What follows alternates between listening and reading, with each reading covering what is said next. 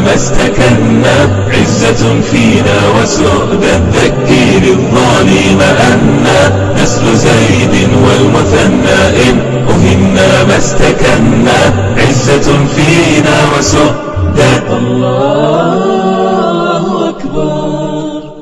دك دك دك دك دك دك العليم أن نسل زيد والمثنى إن أهمنا ما استكنا. عزة فينا وسؤدا الذكير الظالم أن نسل زيد والمثنى إن أهمنا ما استكنا. عزة فينا وسؤدا الرابعة والخمسون قلبك كنت أفرع. أفرا شيخ أرن خطر إليه وهلس أ. وحين يجي midda labaadi waxa weeye oo halista leh oo quluwiga takfiirka soo gelaya si aan iskala reeb lahayn ayuu sheekhu wuxuu u taageeray u taageersan yahay kooxaha xag jirka. Tanatuca iyo quluwiga iyo dimaada muslimiinta iyo takfiirka iyo kooxaha la ogyahay inay ku xag jirsan yihiin ayuu si aan iskala reeb lahayn sheekhu u taageersan yahay. Ayib tasarufaadkooda iyo khaladaadka ay ka gelayaan muslimiintana in badanoo ka miduu tabriiriyaa waana masale mashhuura soomaalida agteeda khaasatan dadka kenya ku nool iyo nairobi ama mutaabaceeya duruustiisa cajaladiisa ayib hal kelimo ama hal naseexo oo cajal ku duuban wax qarqarsoon aniga kama hadlahay oo sheekh xasaan uu xarakaadkaa kaga hadlay iyo khaladaadkooda ummadda uu uga digay ha la soo helo ma macsuumiin ba? Billahi calaykum ya ma macsuumiin ba? Khaladaadkan la gelayo hadday masaladu tahay waxaan uga aamusnahay gaalaa ka faa'iidaysanaysa naqdigayga. Asxaabu rasuulillaah iyo rasuul alle jihaadkiisii soo allah tabaaraka wa tacaala in badan kuma sheegin war khaladkaasaad gasheen khaladkaasaad gasheen. Soo qur'aanku ma tasxiixinin oo kama hadlin khaladaadkii jihaadka ay gelayeen saxaabadu oo soo gaala kama faa'iidaysanayso masaladaasi waa cudurdaar baarid ah waay. Ictidaar baarida waay. Saxna maaha ee waxaa sax ah fikirka iyo mabda'a wax lagu samaynayo baa wuxuu yahay fikirkii iyo mabdii sheekhu ku qanacsanaa. Saas daraaddeed waa waxaad adigu samayn kari weyday ma laguu sameeyey waay. Xasan wuxuu taageeraa si indhala-aana kooxaha xag jirka ah oon tawaxud aan lahayn muxuu ahay iska reebid lahayn oo si indhala-aana oo howlahaas. Wuxuuna u qiilbixiyaa oo u tabiiriyaa akhbaarooda cilmiga. Ah arrinkaana wuxuu sheekhu waa arrin mashhuura soomaali ka dharagsan tahay. Maxaa yeelay hal weedh kelima nasiixo ah oo weligii u jeediyey oo sirka oo hoose kelima siriya ma rabo hoos wax laga dhigo ma rabo. Wax calan ah oo nasiixo oo nimanka u qadimay ma jiro. Oo markaa ku saxaayo akhbaarooda laakiin nasiixada uu hoos ka dhiibay hadday jirto waxba sheegi mayso waxba ma aha buuri. Waxaa laga yaabaa in andacoodo munaafiqiin baa ka faa'iidaysan murtid waa ictidaar baarid ah buu sheekhu halkaasuu halkaasuu ila galay godkaasuu ila galay. Godi badan weeye hal qadiyad baan dhowr waji baan kaga jawaabaynaa dhowr hal qodobka koobaad qadiyadan xarakaadka xag jira ayuu taageerayaa oo dacmiyaa ama wax siiyaa ama la shaqeeyaa gaalo waaweyn baa soo weyday. Hadda korna baa idiin sheegay.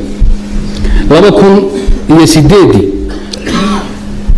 bishii ramadaan canada toronto anuu jooga sebtembar bayad baan u malaynayaa toddobiyo tobankeedii iyo sideed iyo tobankeedii baa waxaa ii yimid gurigaan deganaa amin aroora igu soo garaacay niman sirdoonka waddankaasa siisas baa la yihahdaa magacu marka la soo gaabiyo wuxuu ma aqaan siisas.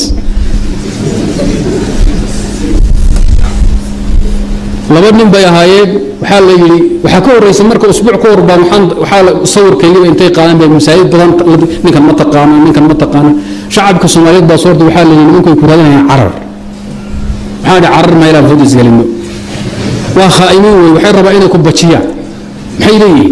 Guriga aan sanad hore deganaaba intay tageen ninkan ma taqaanaan waa 2007 kii aan deganaana way tageenoo intaan martida ku ahaa way weydiiyeen masjid iskarbaro ku yaallo oo xaafad kor ku yaallo oo niman muslimiin waqooyi u badan yihiin ayay tageen jaaliyad soomaaliyeed ay joogto way tageen way wareejiyeen. Anoo masaajidka iska joogo cashira akhrisanaya suuqi waxaa soo gala wadaadka baa la raadinaya. Sawirkiisi baa la wadaa wadaadka hala badbaadiyo waxaan ku weri duqaydi iyo culimmadii iyo markaskii mr khaalid fi toronto wadaadihii joogay baa qofgariir waxaan ku inaan dembi qabin anaa isooga iska nasta. Dembi ma qabo cidna dembi kama gelin. Isdejiya waxaa laga yaaba inay xataa kutuunsan yaho inay wadaadku iska fiican yahay ama hoosta wax ka dhiibaa dembi laftirka waa dareer qaba. Waxaan ku idhi aan cudur aanan qabin anaa hubee. Waxay gaalo cudur ka dhigata ma qabee iska jaayaan kuwa iska daaya faraha ka qaada. Aroorta dambe la yimi iyagoo sawirkooda wata markaan albaab ku fura waxay dhahan sawirkooda adiga maaha wabay aragtaan ma soo geli karaa baan ka fahmay warkooda intaas waan yar fahmi karaa. Marka waxaana fadhiista. Islaantii la joogtay reerka dhan waa qor baa loo qaxay waa la salsalay. Nin hadda jooga maraykanka oo ducaada dhalinyarada ka mid ah oo yaasiin la yidhahdo abu cabdilkhaaliq baan idhahda afkan yaqaan afkan qalaada iiga turjan nimanka hal saac iyo afartan iyo shan daqiiqay maalinka kubada wareysanaya su'aalo sim jim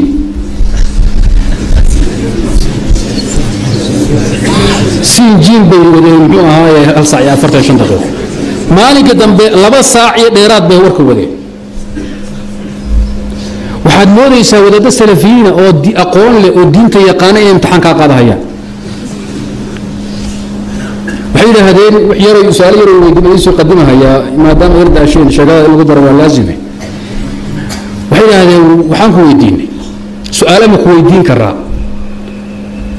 bay weydiin haa baan ku idhi waa loo sheegay. Waxaan doonno ma ku weydiin karaa wuxuu suuragalaan ku idhi say u socotay waxay gaadheen cabdullahi yusuf maxaad ka aaminsan tahay. Cabdullaahi yuusuf maxaad ka aaminsan tahay. Waa u dambeeye waxaa idhi waa muwaadin soomaaliyeed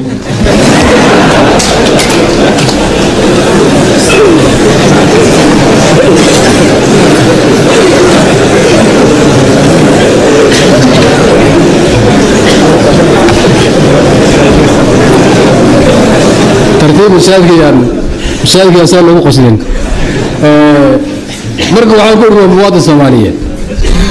Waxaan ka tegey waxay wataan kitaabkii nawaaqid lislaam oon akhriyoon dhammeeyey. Oon qodobka sideedaad markaan marayo aan ka hadlay cabdullaahi iyo dowladdiisa iyo axmaaro ninkii u heyliya ee muslimiinta ka heyliya ee muslimiintan koonfureed iyo keyrkood waxyeeleeya baan ka hadlay. Intaan hadli karay in la eg in baan hadlay oo lagu asagoo turjuman oo ingiriis ku qoran ay soo qorteen bay wataan kitaabkii iyo turjumadii iyo hadallahayuu qoran bay wataan. Marka hore marka waxaan ku uhi muwaadin soomaaliyeed weeye markaan oo kadib markay gudbaan baan rabo kay inaan la kala baxo waba iska istaageenba halkaan ma aysan dhaafin. Waxay dhaheen diinta islaamka ma laga bixi karaa? Mayaan lagama bixi karo. Waa diinta xaqay u dambeysay ninkii ka dhexbaxa madaxiisaa maqan waxay dhaheen miyaan la sahmin karin intii diinta islaamka laga baxo oo buudiyaha iyo kristanka iyo miyaan la soo sahmin karin? Waa wixii bani aadam dejiyey ee khalqi iyo uum ay dhowdhoobeen baa tijaabo galee diinta waa diin rabbi ilaahay baa soo dejiyey waana xaqiiqada u dambeysay ee la soo qadimay meel loo dhaafo malaankood. Waxay dhaheen ninkii ridoobay diinta ka baxa intuu warka dhegaysan waayo dhaqaaqa maxaad ku samaynaysaa waan dilaynaa baa idhi ma surkaad ka goynaysa surkaan ka goynaynaa way qorteen wuxuu dhan qoranhaya midna su'aaluhu weydiiyey midna waxaa la sheeg buu qoranhaya laba wey laba shaydaan bay ahay waxay dhaheen yaa dili waxaan haddii nidaam iyo xukuumad iyo islaam ee maamul jiro maamulkaa dili oo loo day. Waa la dacweyn qaadigaa loo geyn qaadigaa xukumi. Hadduu toobad keeni waayo hawsha uu ka noqon waayo leexadaa taqaana geedka la saaraya. Waxay dhaheen haddaan dowlad jirin oon maamul jirin oo diintii ruux uu ka baxo maxaad ku samaynaysaa ruux oo muslim oo dili karaa dili baa idhi nin walbo muslima awoodo inuu dilo baa dilahaya haddaysan fidno taa ka weyn ka dhalanayn way qorteen waxay dhaheen kitaabkaada aada meesha ku akhriday kitaab cusub oo waddan kanada aan iman jirin weeye khalkhal buu abuuray karaahiye iyo isnacayb buu muslimiintii ka dhex abuura dadkii kiristanka ahaa kitaabkan maxaad afrika oo keentood kanada u keentay. Waxaana kitaabka anu ma wadaniye maktabadiinaan ka soo qaaday. Run bayna ahay maktabad weyn oo ku taalla toronto oo ee, muxuu ahaay ee, aad u weyn oo bartanka magaalada ku taalla toronto. Waan ka soo cariistay weliba ka arintaan yeeshay baan xubin ka nooban ka soo qaaday. Xataa waan ka waayay masjidkii muusan olin kitaabka kaarkaan u soo bixiyay kitaabka oo tiin barahoodii iyo hawlihii kalmiyaan ku yaallaan waa kan idinka eh, keenay. Maxaad u keenteen una dhigteen maktabad weyn oo public oo wax laga akhristo. Qodobka way ka gudbeen inay ku jireen waa iskaga gudbeen. Waxay dhaheen kitaabka marka akhris waxaad sheegtay in ethoobiyaanka cidda u hiilisa ama la shaqaysa ee muslimiinta wax yeelaysa dhiiggooda uu bannaan oo la dilay gaala yihiin. Waxay dhahen annaga kanadiyaanka ah ee saddex kurfiise ku siin ee waddanka aad timid eed ummaddii soomaaliyeed ee kula dhalatay aad la hadashay wax u sheegtay. Kadibna adoo nabad qaba aad laabatay etoobiya waan taageeraaye dhiigga annagu ma bannaan yahay dheh. Su'aalo adag god bay la galeen. Waxaa naf xilligeeda dhaafi mayse nimankan wixii kula qubin u sheeg waxaan ku idhi kaalmaha etoobiya siisaan haddii uu kaalmo yahay ikaato dadka baahan iyo dadka agoomaha iyo abaaraha iyo ceelasha iyo biyaha iyo daawooyinka dhakhaatiir wax nooca u dadka aad aadamahoo dhan ba u qabataan iyo afrika badanba xataa soomaali aad siisaanna waa gooni. Haddaad laakiin ka qayb qaadataan taakula malatari etoobiyaanka idinka ka daran baan ku idhi oo etoobiyaanku waa afrikaan masaakiin oo la ordaya diidiin sakaradii qori idinkoo diyaarada waaweyn iyo balaaya wadataan haddaad kaalmo milatari bixisaan soomaalida waxaa waajib ku ah si ka daran sida etoobiyaanka ula dagaalamayn inay la dagaalanto. Anuguna waan qabaa dhiigginu inuu bannaan yahay sa haddaad yeeshaan. Ee idinku dib iskugu noqdo waxaad bixisaan maiqaafi iyo macuunadii shacabkao dhan la siinhaye ee islaam xanuunsan irbad lagu mudo iyo kiriim baandhool iyo malaariya daawadeeda iyo ceel ummad loo qodaa mise waa dacmi caskari ah labadaa kala qaada. Hadhan may annagu iqaafi baan bixina waad fiicantii kor u boodeen su'aalo noocaas oo dhib badan oo adag. Xataa inaad idinku ahlu sunnati maxaa u dali yidhahdeen in khayrkii khaldan yahay adugu muddo un afar saac isku celis labada maalinka hore maalinka dambe bay su'aaliga iqoojiyeen kadib nimankaasi waxaa la kulmay guddigii masjidka khaalid nin ka mid ah iyo nin kaloo jaalida soomaalida toronto degan duqyada ka mid ah. Labada nin waxaan ka xustaa ismaan cabdiwahaab nin la yidhaahdo iyo nin saciid soome la odhan jiray labadaa nin bay ahaayeen. Maalinka dambe la kulmeen waxay dhaheen ninkaani khatar buu ku yahay waddanka. Waa inuu si degdega ooga baxo. Warkii baa laga keenay. Waxaan ku uhi fiisaan wataa ilaahay fiisadaa dhacdo. Ka dhaqaaqi maayo. Nimanka waxay rabeen intaan ordoon cararo. In dembiile ay igu xukumaan. Waddanka inaan ka baxaayo iyo dembi aan kaga caddaynteeda ha keeneen fiisa ayaga siya sharci baan ku imid waa in iga dhammaato ama dantada igu dhammaato umaa bixi. Laakiin laba shaydaanoo soo ordooyinta ii madaxa gujiyeen carar hawshaa suuragal baa. Nin wuxuu ku carar la tusaa iska carar ma soconaysee nimankaa warka laga keeneen marka waxay ninkaani madhab adag buu wadaa anagu ma rabna madhabkiisa iyo ru'yadiisa waxaan rabnaa ru'yada sheekh cabdikaadir ukaashaan rabnaa. Fikirka in la darxiyo ee la qiimeeyo ee waddanka lagu baahiyo aan doonayno waa aragtida iyo fikirka iyo madhabka sheekh cabdiqaadir cukaashi midda xasaan ma doonayno.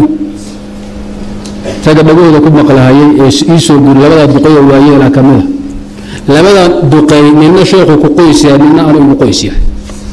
Badhihi lahaydan ama baasho wadaad ku qariseen almuhim qadiyadda way soo martay. Waxaan u jeedaa waagi dambe markaan baxaya waxay soo qadimeen ninkaan wax dambi oo ku haysana ma jire laakiin fikirkiisu waa adag yahay wax la qaadan kara ma aha argixisu marka taageero oo wax siiya oo wax u boodaa reer canada soo waayay north america laga soo waayay ninka hawshaas u xilsaaraa baa soo waayay 2009kii baan haddana tagay sweden. Sirdoonkii sweden baa u yimid guddigii masaajidkan martida ku ahaa waxay dhaheen ninkan waxaan rabnaa inaan wareysano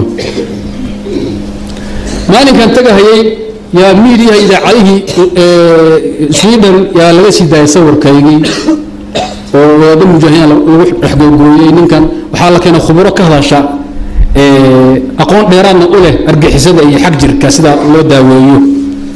Habeeno dhan bay saddex maalmood bay hawshaa socotay. Shacabkii soomaalida oo argaxsan oo salsalsan baan u tegey markaan tegey masjidkii iyo markaskii dadkii iman jiray afar laab baa yimid. Ninkan balaayada ah ee uun saddex habeen gaaladu ka hadlaysay ee wuxuu cunan mooye aan isla muxuu ah wax sahlanba aqooni iyo wuxuu laqo. Bal aad soo aragtaa daaqadihii iyo masaajidkii iyo dhulkii baa buuxsamay waa derbiyadii baa la isku laayay kaararkii la qaybinhayay dadka ay ku soo galayeen oo dhan baa dhammaaday. Laba muxaadaro laga qoray yaroo baan jeediyey. Xero ninka balaayada la sheegaya ma waa nin wadaadaha kamida wuxuu sheegahayay wixii aad sheegaysaan aw gaaladii marka waxay dhaheen annagu hadduu wadaadku baxo annagoon arag waddankan amnigiisana mas'uul ka nahay waa inaan la kulanno gudoomiyihii masjidka ama gotobag gotobag baa ii yimid. Wuxuu hawshaasaan codsanayna haddaad diiddana kugu qasbi mayno nimankan waan la dagaalamayna laakiin waxaan jecel lahay saysan si kale kuugu arag annagana aysan geeskan noo gelinin inaad naga yeesho inay kula kulmaan. Magacood baa seeb baa leeban inaan seebo seebo maxaad ahayd? Meeshu siin badna wiligaa waxay yimid islaan la socoto oo murmuruxsan su'aalihii reer canada baad moodaa loo soo dhiibay. Gaaladii canada su'aalahooda inay wataan oo loo soo koobigelay intii bay mareen oo laakiin ka kokooban. Waxbay soo waayeen. Kuwan aan dhex joogno inta aan foodays gelino waa ka warqabtaan. Nin yidhaahda warniyo fikirkaada iyo madhabkaada waa adag yahay. Mooyeene nin yidhaahda kuu xarbixisaad xoolo siisaa ama aad rag u dirtaa ama la gurmataa ma hayno. Tuhmada marka sheekhu uu la taagan yahay gaalaa horti ku soo daashay yuusan isku lugoynin. Taasi waa iga qodob qodobka labaad ean tilmaamay waxaa weeye anugu aragti diineed baan cabiraa intaan noolhayna waan cabiri insha allahu tacaala. Ama urur aan qiimeeyo ama dowlad aan qiimeeyo ama fardi aan qiimeeyo wixii qiimo ama aragti diineed igu aadan baan cabiraa intaasana kutubtayda iyo cashiradayda ku yaalla anuguna aan ka hadlaa aragtiyo kala duwan aan ka kala qabno kooxo iyo urura waa jiraan. Aragtida ninkii ugu maxkamaday igu da laakiin waxbaa kalaa jira iyo howlaha hoos laga tuura ayaan la baasin. Qodobka saddexaad iga raaca waxaa weeye sheekhu muxaadaradiisa alwalaa walbara wuxuu ku yidhi innaga iyo culimmada yaa isku keentira marka? Ya gaala isku keentirta gaala waxayna yidhi waa argagixiso waa budhla duul. Waa mara kudheg waa niman macangegiin ah. Waa niman balaaya ka dhacday. Waa niman waxa ujeedooyin kala wata.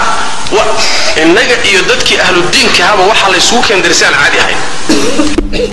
Burladuul iyo marakudheg iyo asal raac iyo argagixiso iyo iyo macaanida la halmaasho ee taqriiban xagjirka iyo yidhi waa magacyo ay bixiyaan gaaladu baa bixiya muslimiinta iyo ducaadda iyo culimmada inay ku sheegaan. Haddaba waxaan leeyahay hawshuu u tiiriyey inay asal gaala leeyihiin buu sheekhu maanta asagoo isticmaali aniga ugu dhajinaya. Taasi marka waxay noqonaysaa fujuurun fi lkhusuuma mar haddaan aragti kala duwan isku hayno inaad howlihii ay gaala mustalaxaadkay dejiyeen iyo halbeeg ay igu dejiyeen ay muslimiinta in lagu ceebayo lagu dhaleeceeyo ay ugu talagaleen ani isaartahay amay macnahaas gashaa fujuur fi lkhusuuma aad sheegaysay amay gashaa taasi waa arrin adag weeye. Arrintaasi marka waxaan codsanayaa in laga waantoomo lagu noqonin. Sheekh wuxuu uri si qodobka afraad buu noqonaya bafilhayaa ama saddexaad. Qodobka afraad wuxuu noqonayaa sheekh wuxuu uri si kala hadla-aana oo waxba uusan la hadhaynin buu u taageeraa nimankaas. Taa waxay noqonaysaa in baatil iyo xaqba aan ku taageero. Ila alaanana sheekhu ma sugin isaga iyo keyrkii ama inta ku fikirka ah shay baatil ah oon ku taageero urur islaami ama mujaahidiin aan ku taageeray. Marka koobaad waxaan codsanayaa in la sugo dacwada iyo tuhmada la sugo. Labo laga niqaasho markaa iyadaa la soo sugo. Qodobka shanaad akhdaada cilmiga ah ee mujaahidiinta ama xarakaadka alleda waa xag jir ay ku dhaceen een ogaaday inay khata iyo gaf tahay. Kadibna aan tabriiriyeen u qilbixiyeen difaacay maxay tahay? Halay tuso laakiin waxaa laga yaabaa wadaadku wuxuu asagu khata u arko cilmi ah oo anigu aan u arag oon kadib difaacay inuu ugu maxkamado inuu dilahayo ama hawsha inay mashhuur tahay cinda soomaaliyiin fahiya laa tuqni min juuc. Yani waxbaa mashhuur oo soomaaliba hawsha og waa iska dacwa caama wey qodobka ii raacay kale waxaa weeye nin walboo muslima oo afkay u gaadho ama gacantaydu gaadho intaan u naseexayn karo oo u naseexeeya sir iyo saaq waxaan ugu sheegi karaa u intaan awoodo wey intuu asagu hoos igu naseexeeyey ama kor iila hadlay in ka badan baan hoos oola hadla ama aan muxuu ahay kor ugu naseexay inta ugu xidhan een khalad ku arko.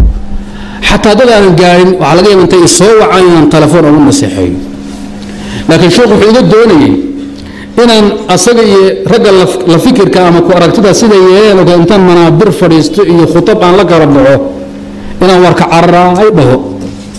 Taana aniga inay maslaxad diineed tahay ama mararka qaar ku bannaan tahayba ooma arko hadda ka horna waaban idhiba in masaladaha laga niqaasho muhiimaddu ruuxa muslimka ah ee loo naseexay naseexayntiisu wax u sheegidiisu qaabka loogu naseexayni waa masale u khuduucaysa maslaxa iyo mafsado haddaad u aragto in sir iyo saaq hoos wax loogu sheego inay fiican tahay waadiyeel iyadana inta badan khayr badan haddii hoostaa wax anfici weydood uubataysid kor u dhawaaqdo ay maslaxo tahayna waad u dhaqaaqi.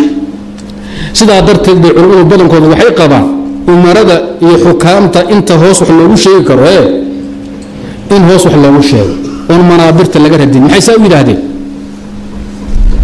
Mafsado ka weyn baa ka dhalin baa leeyahy waxay yidhahdeen xaakimka haddii halkan laga caayo oo laga diradiyo oo uuba xanaaqi maana ujeeda soo qabta qaf dilkan waarkiisaba ama wuxuu sheegay uuba xanaaqiba cizaaba ku ciba ficilaaba qaadi xaqiibuu diidi uba sii fogaan.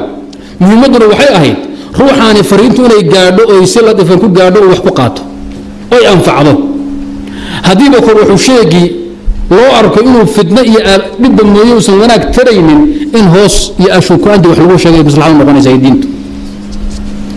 Akhdaa cilmi ah oo muslimiinta uu sheekhu ugu eedayn ay qabaan oonan ka naseexaynin anigu ma ogin laakiin waxyaabaa asagoo akhdaa u arko baanan u arag kumana qasban inaan rugiisa maro. Nimankaas muslimiinta lagu riixay iyo kuwa halkan jooga muslimiinta ahba iyo dal iyo dibi kuwa dhoobanba waxaa naga dhexeeya toban jeerna waan sheegay waa walaaltinimo diineed. Kulligiin baa iguleh nin walba iimaan iyo islaam ku jiraana igu leh. Taana gu-i mayso ilaa ruuxu moorada ka boodo. Hadday tahay ayagaa ku sheegta ama iskaa xajiya ama muxuu ahay sheekh kaa dhigtayna ayaga ha xisaabtamo mooyeene xasaan waxba yaan la baqdhabin iyaguna waxay dar u leeyihiin nin walba muslimay leeyihiin waxba idin inay kaalmaystaan ama ay daacadnimo u arkaan waxyaabaha noocaas tuhmooyinka inuu sheekhu galo halkaasi ma jeclay. Munaasabna ma ahayn kuwii hawshaasi ku mushaar qaadan hayay ee ka indhawaaweynaa ee gaalada ahaaba wax soo waayey marka ku maqraati kacan ba iska noqon kamaraati kac ba iska noqon waxaan xusuustaa bidix aan xusuustay. Waagii jalaadka kenya ay aniga iyo wadaaddo ilamid ay aad noo soo qoran weliba ay aniga aad iila fuuleen yaa wadaad risaalo qoray.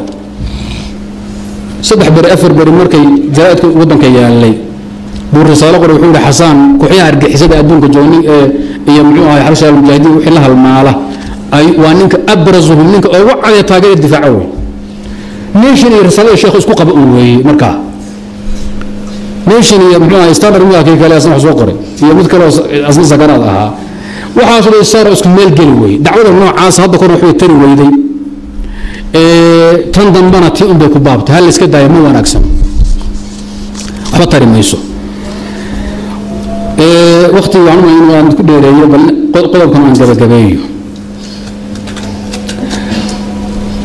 qodobka saddexaad aan kaga hadlay waxaa weeye haddii uu xasaan taageero ama difaaco kooxo xag jir ah ama argagixiso ah siday qabaan gaalada iyo mustalaxaadkoodu sida loogeeya sheekhu in badan burhata min azaman ayuu jamaaca jihaadiya mutaطarifa cala almafhuum alfikri algarbi asaliib alxaaqid buu ra'iis ka ahaa.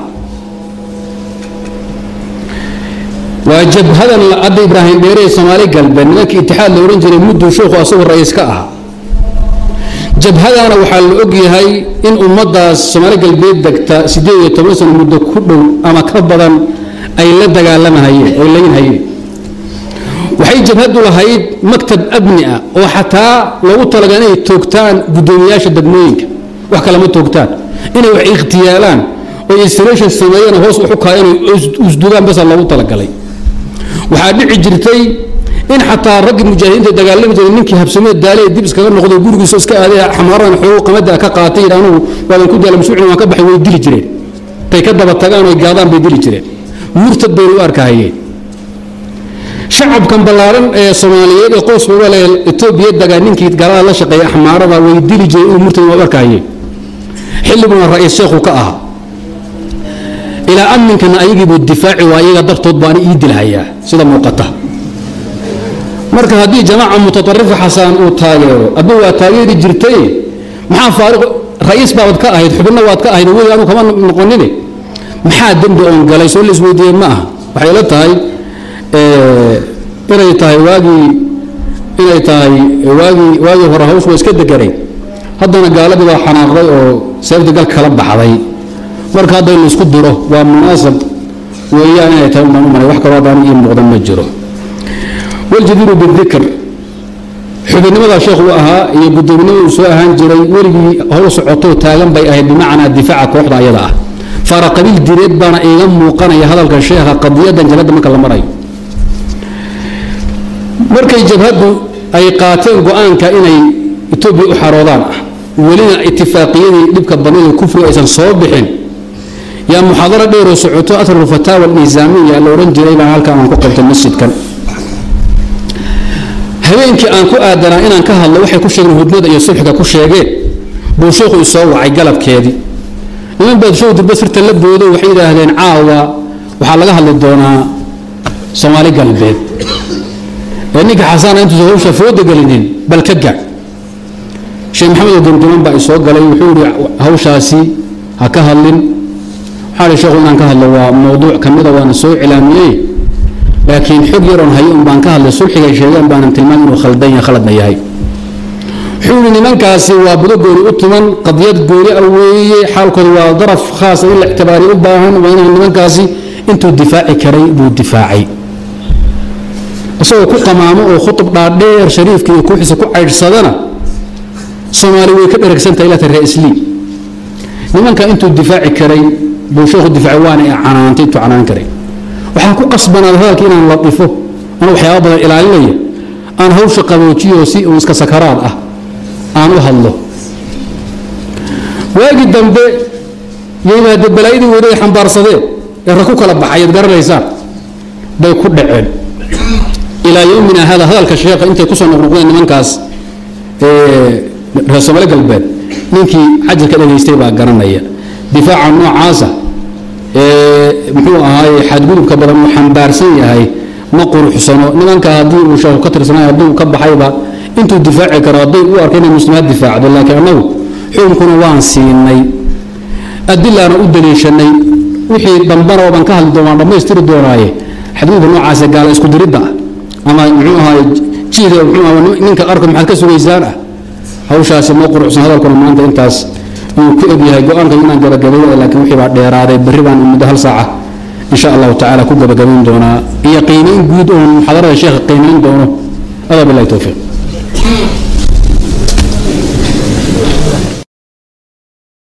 عنا الغوافي أخبريهم لا تخافي من معين الحق نرغد فاز من حصد المعالي لا يجانب أو يغالي. قاهرا سهد الليالي سائرا فيها تهجى نشطى نبقى بالتالي